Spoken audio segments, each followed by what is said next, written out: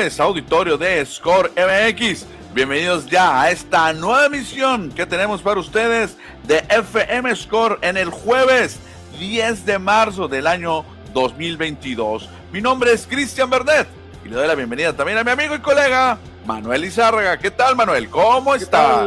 Aquí andamos, listos para hablar de deportes. Eh, jueves 10 eh, de marzo. Listos, listos, Cristian. Adelante con información.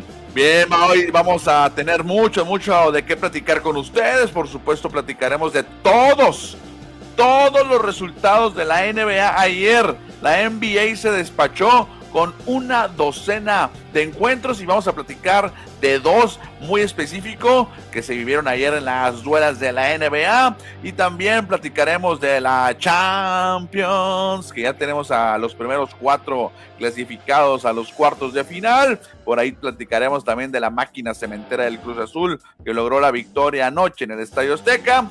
Y la noticia del día Manuel la noticia del día es que hace unos minutos hace unos instantes eh, regresa el béisbol de las grandes ligas. Aquí. ¿Estás contento? Bravo, bravo. La verdad que era lo mejor. Lo mejor que nos podía pasar, Cristiano, que ya no se perdieran más juegos y que ya por fin nos regresaran esa actividad que se llama béisbol que tanta gente disfrutamos. Que yo creo que es la mejor noticia que he escuchado en el año. ¿eh? Fíjate que aquí ya ves, la producción ya había preparado, cancelan más series. Recuerda que ayer cancelaron dos series. Sí, claro. Pero pues en hace unos instantes pues acaban de cambiar la noticia, ya no se pudo cambiar acá en la producción. De eso y mucho más vamos a platicar hoy, Manuel. Pero antes invitamos al auditorio para que se comunique con nosotros, mande su mensaje, su saludo, porque aquí lo vamos a leer.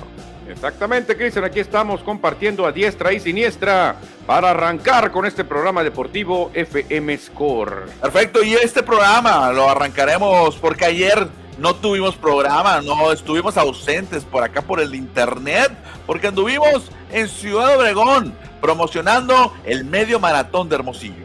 Exactamente, Cristian, así como lo dices, estuvimos allá con nuestros amigos de Obregón para invitarlos al medio maratón de Hermosillo, una carrera emblemática, la más emblemática de todo el estado. Y ayer en Obregón nos atendieron de maravilla, Cristian. Agradecemos a los medios de comunicación, agradecemos a la gente del grupo Uniradio, que la verdad que lo hizo de maravilla con esa cobertura.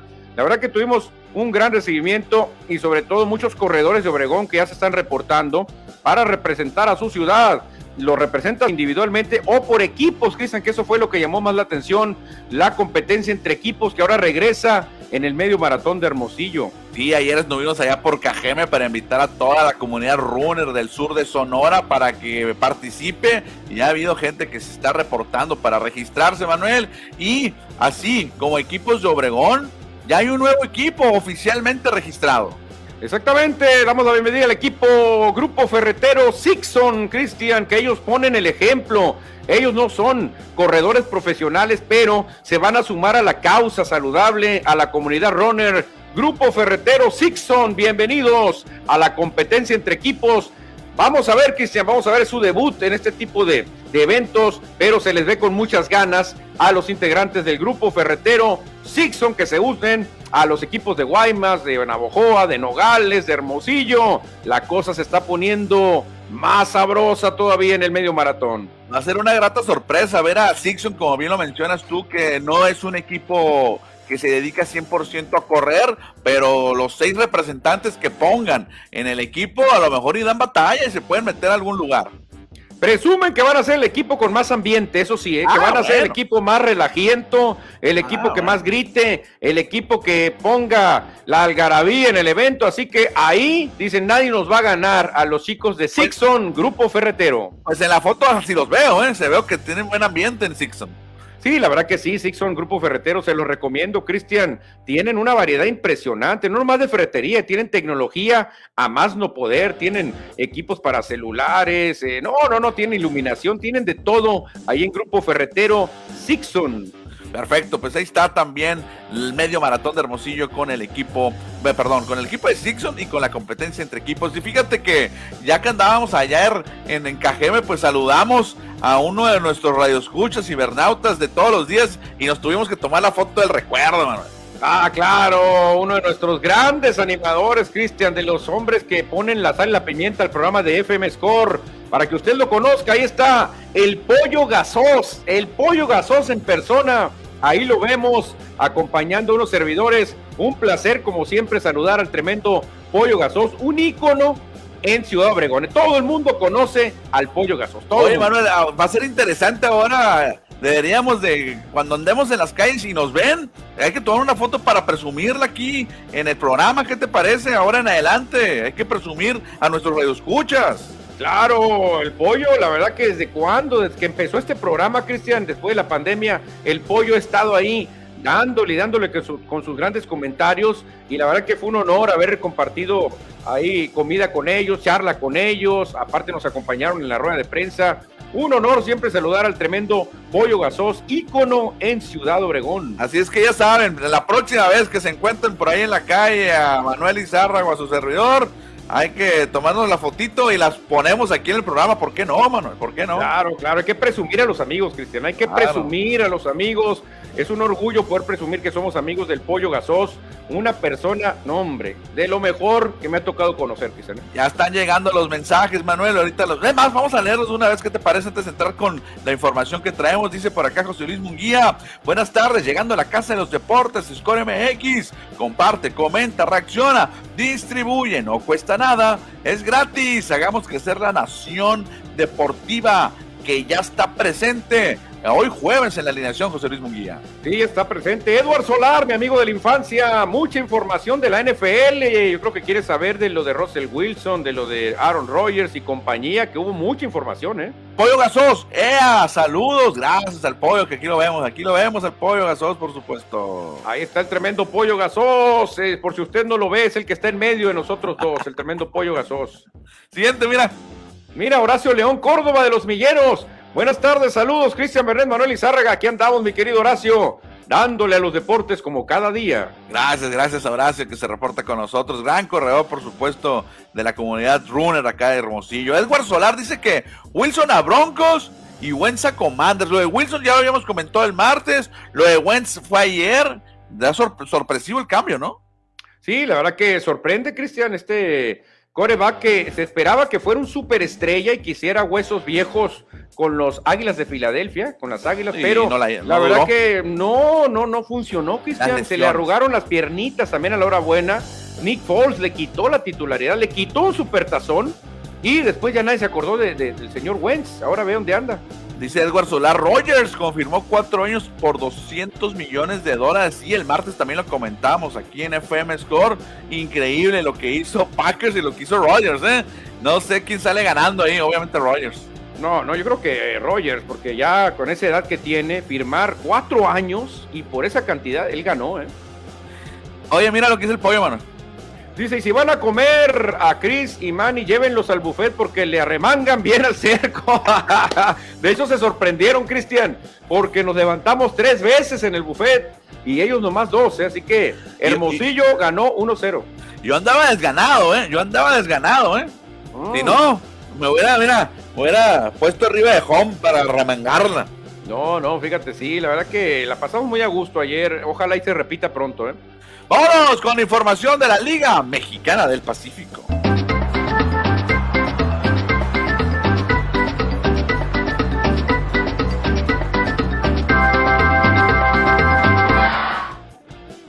Arriba, arriba el béisbol de la Liga Mexicana. Para ser neutral, obviamente que esta canción suena en casi todos los estadios del invierno mexicano. Y ayer se dio a conocer los últimos ganadores de los guantes de oro, Manuel. Y se lo llevan dos de Hermosillo y uno de eh, Mazatlán.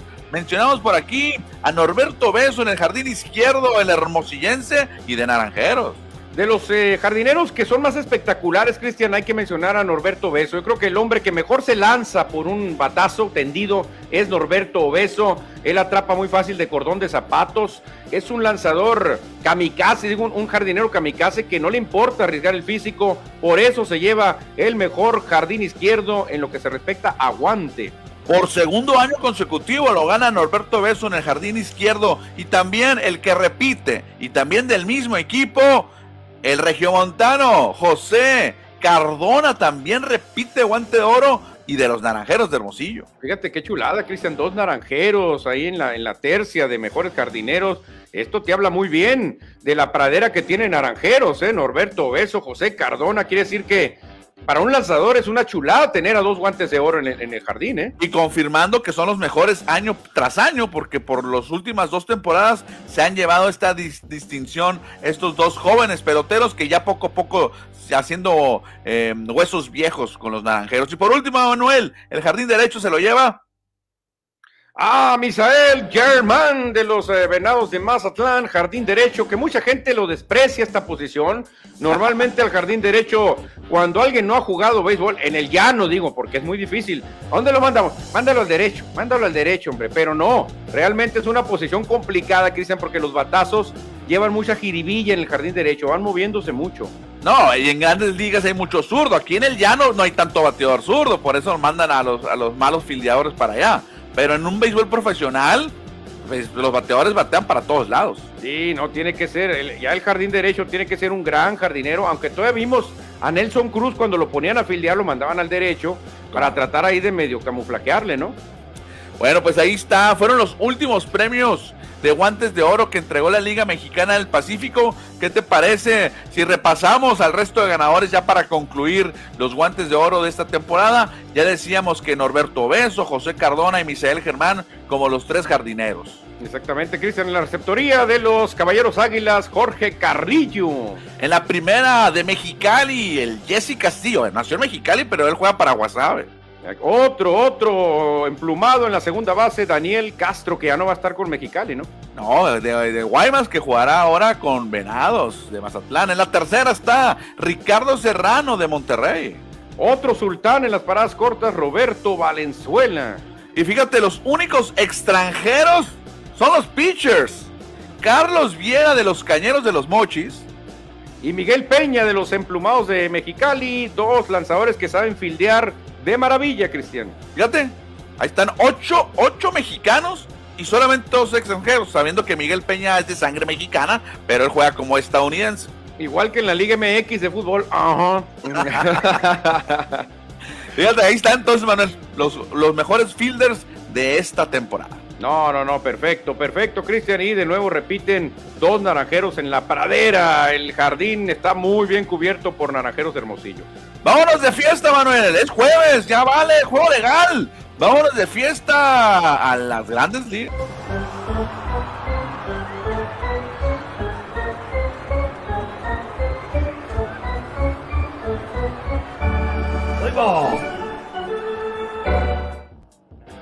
Como dijo el Ampallita, play ball, Manuel. Parece, parece casi casi un hecho, 99% que regresa al béisbol de grandes ligas el próximo 14 de abril con temporada de 162 partidos. Voy a tener que retractarme, Manuel, y regresar a ser aficionado de MLB. Lo vas a tener que hacer, que sean al final doblaron las manitas entre los dos ahí. Vamos a tener el regreso del béisbol un poquito cambiado, hay que decirlo, con las bases. Si usted tiene una base normal, guárdela, porque ahora las bases van a ser más grandes, Cristian, ¿eh? Mira, ahí te va más o menos lo, del nuevo contrato colectivo de trabajo son los siguientes cambios. Expansión a 12 equipos en playoff. Muy bueno, me gusta porque van a entrar equipos que realmente se quedan fuera normal, acá año tras año. 40% de las grandes ligas va a estar en playoff. Muy bueno, ahí van a estar mis Phillies de seguro. Bateador designado universal. Eso ya se veía venir. La lotería del draft de seis equipos. Así es que aquí ya no vas a hacer taunting, taunting. Ya no te vas a hacer loquito. No, no, no. Ahora va a ser muy parecido a la NBA. Que no cuenta, no cuenta quién quede en último. Nuevo bono de 50 millones de dólares. Bye, papá. Ándale, bueno, sí, creemos que es suficiente dinerito. Aumentos en los impuestos de equilibrio competitivo, que esas son las administrativas, cambios del salario mínimo que va a subir para los peloteros y abordar la manipulación del tiempo de servicio. Así es que van a tener algunas, eh, los jugadores pues tendrán ahí que negociar cuántos años de servicio para que les llegue la pensión. O sea que no se aprobó lo del reloj, ¿verdad? Pues en la, en lo que en la información que estuve leyendo yo no viene eso. Sí, porque los jugadores decían, no, no, no, no, no todo menos el reloj. No queremos que nos estén poniendo un, cronómetro y que ya, lanza ya. otra vez lanza ya. Dicen que no, no querían los peloteros. Pues Manuel, son muy buenas noticias. Eh, va a estar de fiesta en las grandes ligas, va a estar de fiesta los aficionados y lo mejor es que vamos a tener temporada completa. Temporada de 162 partidos significa que habrá muchas jornadas dobles, juegos dobles y de nueve entradas, ¿eh? Van a ser de nueve entradas. Sí, exactamente, aunque no va a empezar el primero de abril y 30, 30 de marzo, no, sería por allá del 14 de abril según lo que nos están comentando, o sea, se movería unas dos semanitas, pero no pasa nada, ¿eh? 14 de abril estaría arrancando extraoficialmente. Todavía, todavía tienen que, hacer unos movimientos, ¿no? Todavía tienen que ratificarlo, pero es prácticamente un hecho. Exactamente, exactamente. Pues qué buena noticia, Cristian. La verdad que este día ya me volvieron a brillar los ojitos porque es algo que estamos esperando todos, ¿eh? Sí, son muy buenas noticias, Manuel. Y a partir de, si se confirma, yo creo que más tarde o mañana, a partir de ya van a poder entrenar los jugadores en el Spring Training. O sea, ya van a poder estar. Es que las instalaciones ya estaban listas, ¿eh? Nomás faltaba que se diera la autorización, pero estaban todos listos, ya así, mira, esperando nomás. Así que ya a partir de mañana que empiecen a soltar el brazo, ¿eh? Exactamente. Pues son muy buenas noticias, a todos estamos contentos. Solamente faltará un mes para que arranque la temporada regular, un poquito más. Y sí, sí, arrancará o tendremos temporada completa de Grandes Ligas. Muy bien. No, qué buena noticia. La verdad que la mejor noticia que he escuchado en el año, Cristian, en el año. Dice Edward Solar, parece que el 14 de abril empiezan, exactamente, Edward. El 14 de abril estaría arrancando. Y precisamente ayer habían dicho que iban a posponer, bueno, cancelar dos series. Pero eso, obviamente, se cancelan, no van a jugar, pero sí se, van. O sea, no, no, no va a arrancar la temporada el, 7 de abril, pero sí el 14 con temporada completa. Sí, porque ya iban cuatro series eh, pospuestas o canceladas. Cuatro series, las primeras cuatro ya estaban en el olvido supuestamente, pero se han rescatado, Cristian, así que no se va a perder ningún juego. Dice San y buenas tardes amigos, un placer saludarlos desde el municipio muy beisbolero y futbolero. San Ignacio Río Muerto, en el sur del estado, bueno, por cerca donde andábamos ayer. Creo que de allá es el Memo Vilés. Creo que Guillermo ah, Vilés, gran beisbolista, gran futbolista, amigo de Score, es de San Ignacio Río Muerto. Órale, y también de ahí era originario eh, Miguel del Toro. Miguel del Toro, que nació en Obregón, dicen, o sea, nació en el hospital en Obregón, pero él, era, porque ya falleció, de San Ignacio de Río Muerto, y en aquel entonces no era municipio, pertenecía a Guaymas, ahora ya es independiente este municipio. Ah, pues ahí está, muy famoso San Ignacio de Río Muerto, gran nivel, ¿eh? hay gran nivel de deportistas, sobre todo beisbolistas y futbolistas en San Ignacio Río Muerto. Siguiente, Manuel, te lo dejo por ahí. Alejandro Leiva, presente amigos de Score, gusto en saludarlos y de poder verlos. Igualmente, mi querido Alejandro, aquí andamos. Saludos, por supuesto, Alejandro Leiva, gran entrenador, joven entrenador de básquetbol que ya está haciendo su carrera, su camino, abriéndose camino dentro del básquetbol local acá de Hermosillo. Manuel, vamos a continuar con más información. Ahora cambiamos de los diamantes del béisbol a las duelas de la NBA, precisamente.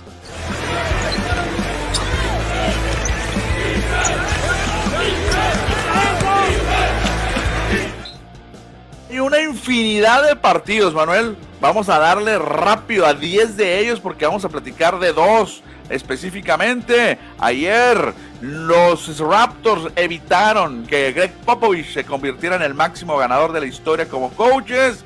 Fred Van Vliet encabezó la victoria de 26 puntos de los Raptors sobre este Spurs.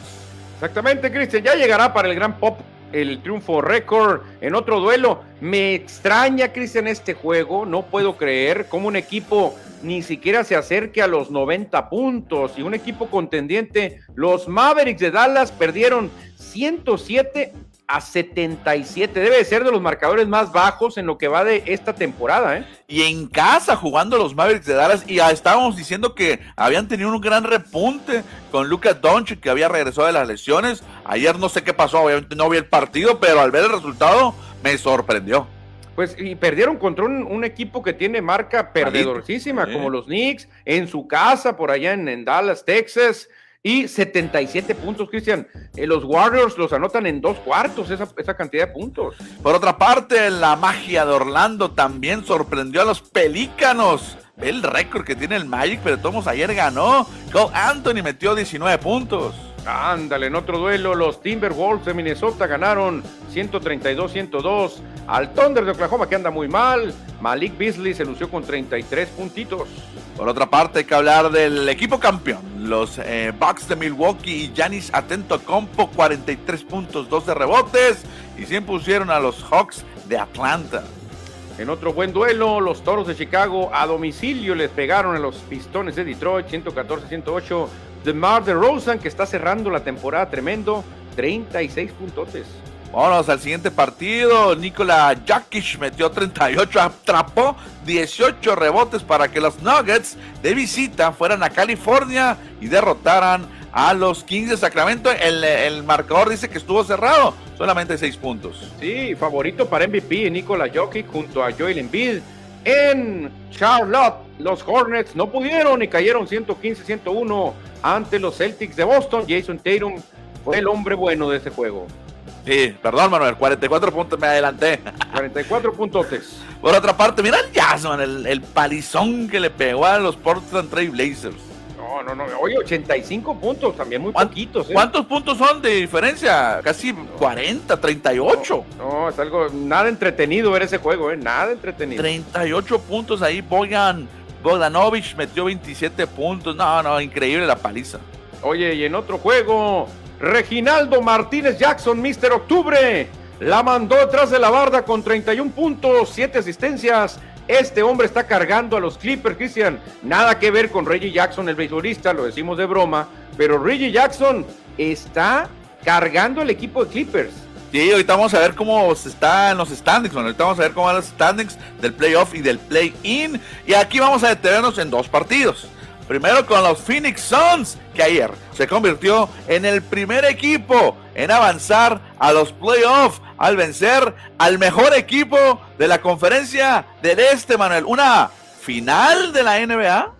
Me encantaría, Cristian, porque estaría en juego el calor, eh, las llamas, el fuego, o sea, el calor de Miami contra el sol de Phoenix. O sea, imagínate esa combinación, un calor contra un sol que es casi lo mismo. Qué buen duelo, ¿eh? Y demostró Phoenix que está para campeón. Y ayer, ayer se convierte, como lo repito, en el primer equipo, primer equipo que logra su boleto por este gran paso que han tenido, 53 victorias a cambio de solamente 13 derrotas. Bien entonces por Devin Booker, que metió 23 puntos. Y Manuel, ahora sí, te dejo este partido. Este partido es increíble, Cristian. Los Lakers ya tocando fondo, enfrentando a uno de los equipos más malos de toda la liga y cayendo en tiempo extra.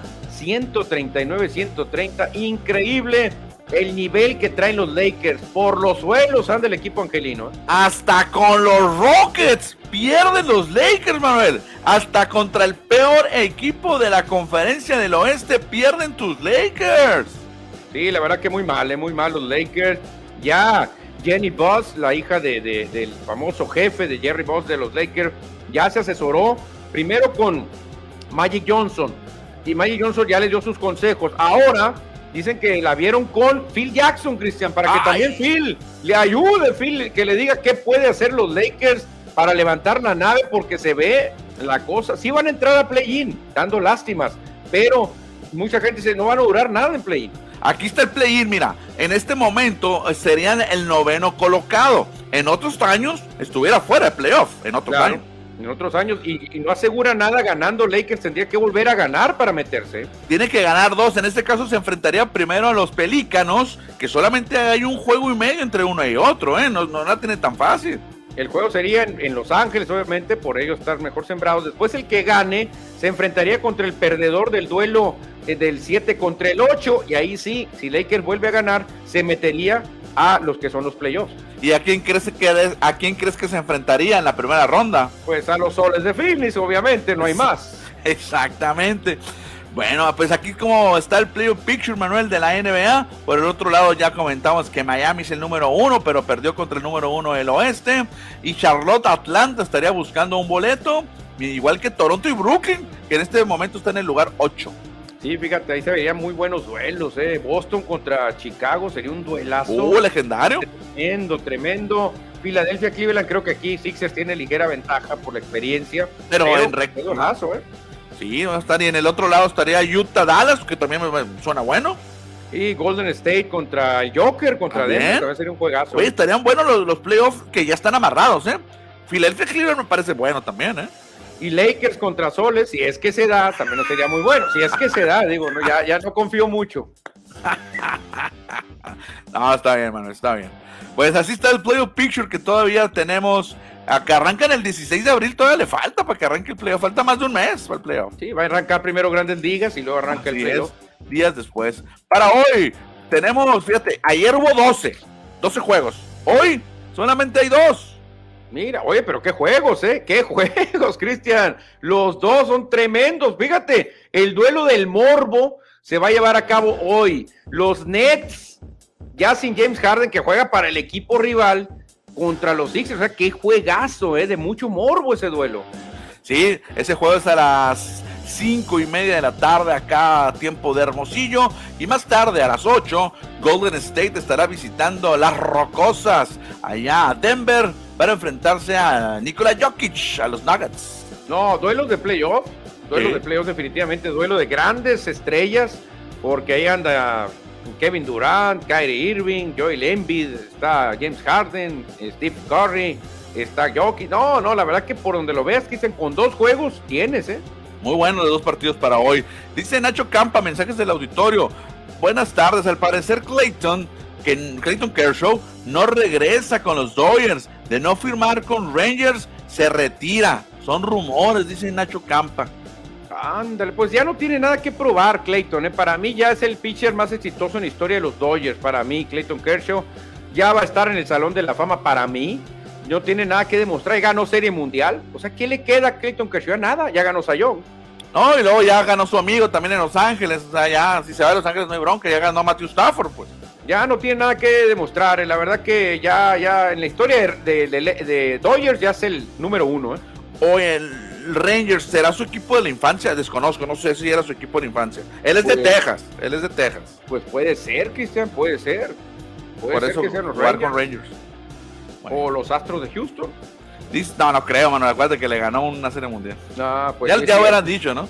Ya se hubiera dicho, exactamente. Edward Solar, el Paris Saint Germain, no, puro, no pudo con el Real Madrid. ¿Qué tal si tocamos el tema de la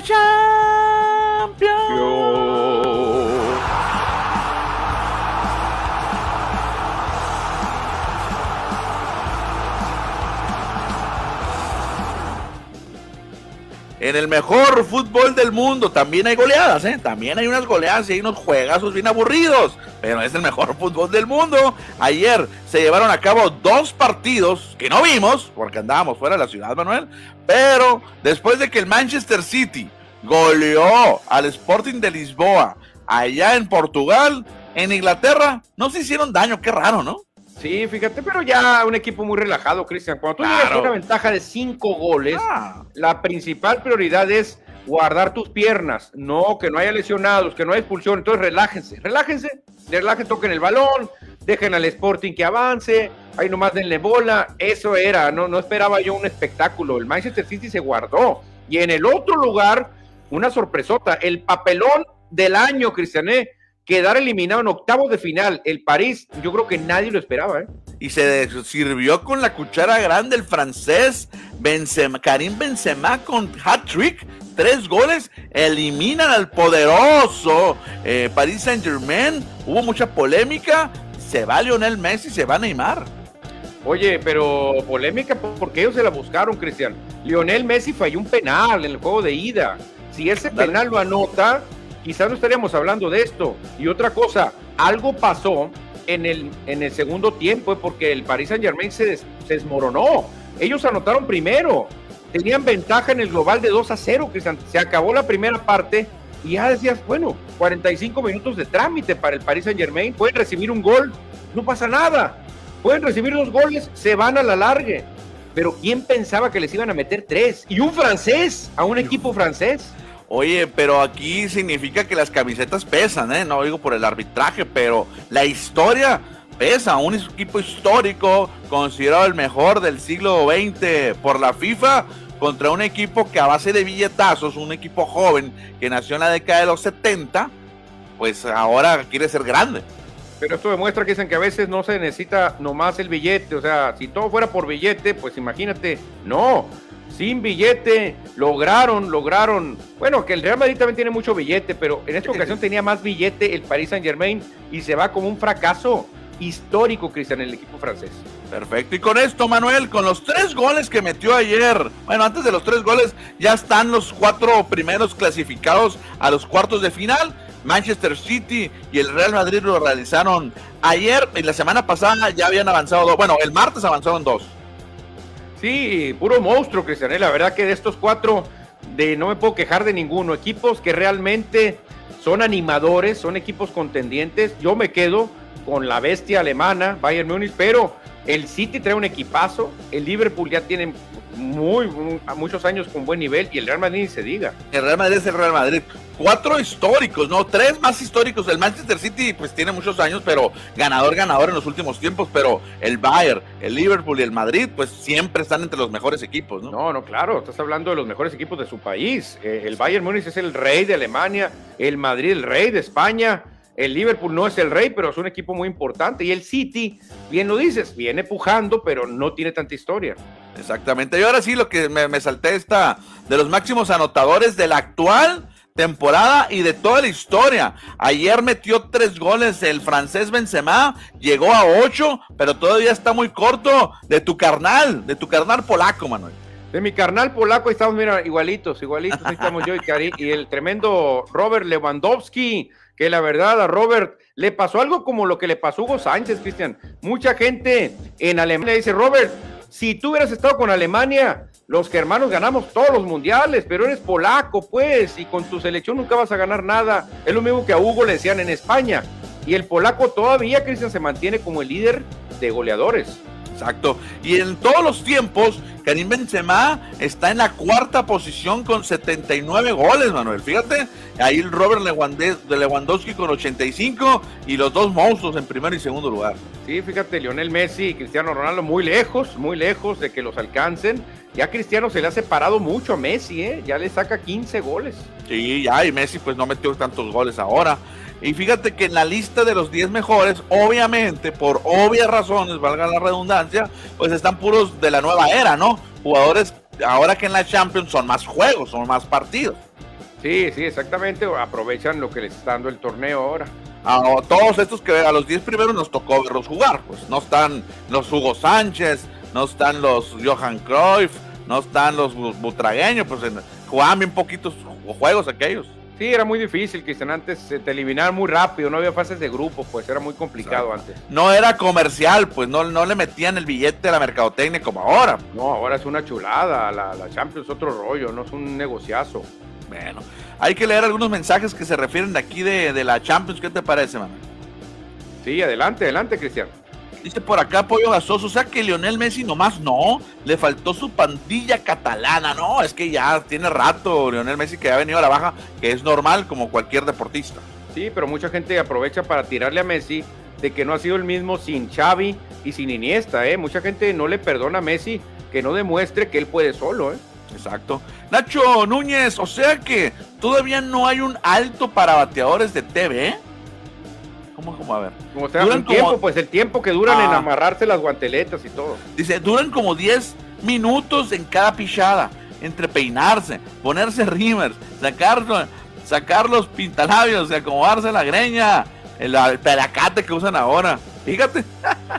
Yo creo que el que más ha durado es Eduardo Jiménez, Cristian, ¿eh? Aquí en la liga. Tintán, aquí en la liga. Yo me acuerdo que cada, cada lanzamiento se, era bola strike, se salía del plato, se quitaba el bat y lo ponía acá y se lo apoyaba aquí en la cintura, ¿no? En el suelo. Y luego se quitaba las dos guanteletas y luego se las volvía a ajustar. Luego se agarraba el pantalón, luego se checaba los, los codos, luego agarraba otra vez el bat y empezaba a moverlo y luego se volvía a meter otra vez al dedo. Se ponía otra vez, bola, y luego llegaba otra vez. Ponía el bat en el piso, lo apoyaba en la cintura, se quitaba las guanteletas, se las volvía a ajustar, se agarraba los hombros, agarraba el bat, empezaba a ponerlo. Se volvía... No, hombre, era un tiempo, no, hombre. Es zurdo, ¿no? Eduardo Jiménez. Claro, zurdo, Eduardo Jiménez, claro. Oye, cerramos el programa ya para despedirnos porque hace hambre con los resultados de. Si ya hablamos de la, de la Champions, ¿verdad? Claro. No, pues hay que hablar de la Conca Champions. Ah, casi lo mismo, casi lo mismo, pero nuestro, en nuestro continente ahora. Pero ganó el Cruz Azul, Manuel. Sí, ganó el Cruz Azul, pero con mucho peligro para la vuelta, Cristian. ¿Por qué? Porque ya vimos lo que le pasó a Pumas, que con un terreno nevado, hostil, de mucho frío, fueron goleados.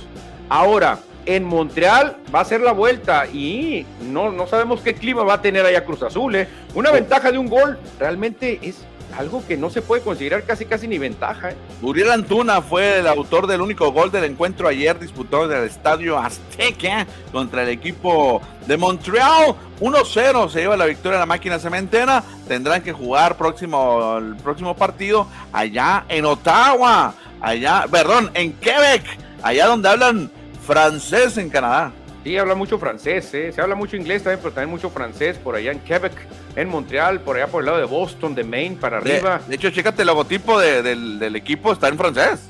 Ah, claro, claro, es que muchas colonias francesas llegaron ahí cuando vinieron de allá de, de, de Europa, digo, de Europa. Pues fíjate, Cruz Azul sí ganó, pero pudo haber ganado 4 a 0, Cristian, en el juego. Yo lo estuve viendo cómo fallaron. El mismo Antuna falló. Hubo muchas fallas de Cruz Azul. Pero obviamente Juan Reynoso dice, tengo que estar rotando jugadores porque tengo torneo de liga también, tengo muchas broncas encima. No, yo creo que el Cruz Azul sí va a salir avante, va a avanzar a la siguiente ronda, ¿eh? Pues sería el único porque los otros mexicanos le fue muy mal. ¿Ve el, Puma? ¿Qué le pasó a los Pumas? Goleados contra un, club importante, un, club histórico de fútbol de Estados Unidos, si se le puede llamar así, es de los equipos eh, fundadores de la liga. Sí, aquí Lilini se quejó del clima. Obviamente. está nevando. Está nevando, está nevando. Por eso te digo. Pero eso no es culpa del Revolution. Ellos juegan su cancha. Ellos juegan todo lo que tienen a favor. Escuché la rueda de prensa, bueno, el resumen de la rueda de prensa de Lilini. No se queja, ¿eh? Acepta que no, que fueron inferiores al Real, perdón, al Revolution. O sea, lo superaron. Obviamente afecta el clima, afecta la nevada, porque está nevado allá en, en, en Foxborough. Creo que también juega el equipo de New England, pero aceptó que fueron superados, ¿no? Aceptó. Sí, pero sí mencionó el clima, ¿eh? también, si le sumas, si le sumas que estaba nevado, dice, pues bueno, sí, obviamente ahora hay que usar las armas a tu favor, aprovechar la altura de la Ciudad de México, tratar de asfixiar al rival. Si clavas un gol antes del medio tiempo, puedes matar, ¿eh? Puedes matar porque la presión va a estar fuerte para la vuelta. Pero este, si el Revolution saca un poquito de oficio, Cristian, creo que ya está finiquitada esa, esa, ese duelo. ¿eh? Recordando que el Santos Laguna ya lo eliminaron en la, en, la, en la ronda anterior. El León perdió 3 a 0 el martes o el miércoles. Y ayer Pumas pierde 3 a 0 contra el León, digo, perdón, contra Revolution. O sea, tres mexicanos out, el único con vida o entre comillas con posibilidades es el Cruz Azul, pero va de visita el siguiente partido. O sea que, Cristian, se podría dar una semifinal de cuatro equipos que no serían de México por primera vez en la historia de este torneo, ¿eh? Exacto, significa que estamos en el peor momento del fútbol mexicano en muchos aspectos. Liga, lo, lo que pasa en los estadios y la selección. También la selección, porque ahorita Canadá es mejor que México, ¿eh? Exacto, exactamente. Bueno, pues Manuel, veremos si puede clasificar el Cruz Azul a la siguiente ronda. Oye, estoy viendo aquí el torneo de golf. El mexicano Abraham Arnser está en tercer lugar del torneo de Players. Ojalá que le vaya bien el fin de semana. Pues vamos a ver que haga algo bueno México, porque últimamente puras notas malas. Oye, Manuel, pues ya no vamos a ir, nos vamos a retirar en este juevesitos deportivo. Sí, claro, mañana cerramos con toda la semana, pero por lo pronto ahorita hay que ir a comer y preparar la tardecita sabrosa. Así que que tengan buena tarde, buen jueves. Mañana cerramos con todo. Ya son las 3 de la tarde, hoy estuvimos 40 minutos, 41 minutos con ustedes, pero mañana, mañana regresaremos con más en este FM Score de viernes, mañana viernes. Hay un último mensaje, último mensaje del pollo que llegó. Eh, a ver, a ver, a ver, te lo dejo, te lo dejo. O sea que Lionel nomás no, le faltó su pandilla catalana. Cristian, ¿tú qué opinas? ¿Realmente Messi es igual de bueno sin Xavi, sin Iniesta? No, ya no es lo mismo. Sí le falta, le falta su pandilla de Barcelona, de catalán. Claro, los compañeros importan, ¿eh? Claro que importan. Nos manda saludos Eduardo Salazar Tapia, también le regresamos el saludo, por supuesto, a Eduardo. Y por último, Manuel. Nacho Núñez, sí se les pudo hacer cuatro los albañiles, no se va a poder tres, dice Nacho es Puma, Es Puma, Manuel, es Puma. Ah, ok, pues sí, a, Cruz Azul le metieron cuatro, ¿eh? que es mejor equipo que el, Revolution. O sea, hace algunos años. Que Pumas Pumas puede revertir, ¿eh? creo que Pumas puede revertir, o mínimo forzar los penales o el alargue. Sí, con que no le metan gol, si le meten gol, out. Tendría que meter cinco. No, muy difícil.